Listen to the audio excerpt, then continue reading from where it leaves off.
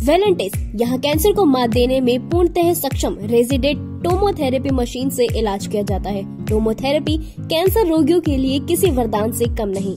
Cancer मरीजों के लिए समर्पित उत्तरी भारत का एकमात्र hospital, Valentis, Mawana road, Mussoorie, Meerut. Meerut, Inchauli के ग्राम जलालपुर में आज सुबह एक युवक की हत्या कर दी गई। उसके साथ मजदूरी करने वाले तीन युवक उसे बीते दिवस काम पर ले गए थे, लेकिन वह वापस नहीं लौटा। आरोप है कि आज सुबह उसके इन तीन लोगों ने हत्या कर शव गाँव में ही डाल दिया। पुलिस ने तीनों आरोपियों को हिरासत में लेकर पूछताछ शुरू कर दी है। मृतक युवक का नाम विजेंद्र उफ गूँगा है। विजेंद्र की माँ ईश्वरी ने जिन तीन लोगों के खिलाफ नामजद रिपोर्ट दर्ज कराई है, उसमें सोनू, सचिन और सोनू शामिल हैं। इस हत्याकांड के बाद जलालपुर गाँव में सनसनी फैल गई है। भारी संख्या में लोग वहाँ जमा हो गए हैं। एहतियातन पुलिस बल तैनात कर दिया गया है। देखिए।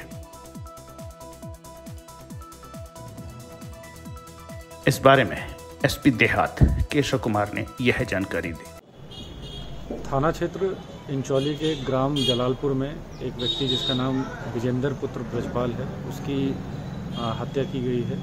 परिजनों के द्वारा तहरीर दी गई है। तहरीर में तीन व्यक्तियों को, परिजनों के द्वारा नामजद किया गया है। तीनों व्यक्तियों को पुलिस हिरासत में लेकर गहनता से पूछताछ की जा रही है। परिजनों के द्वारा, खासकर जो मृतक का भाई है, उसके द्वारा बताया गया है कि ये जो मृतक था वो इन नामजद अभियुक्तों के यहाँ काम कर रहा था तो उसके कुछ पैसे वहाँ पे बकाया थे।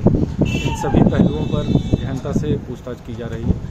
शव को पीएम हेतु मोर्चरी भिजवाया जा चुका है। अग्रिम वैधानिक कार्रवाई की जा रही है। इस खबर में फ़िलहाल इतना ही। आप देखते रहिए फ़र्स्ट बाइट डॉट टीवी नमस्कार।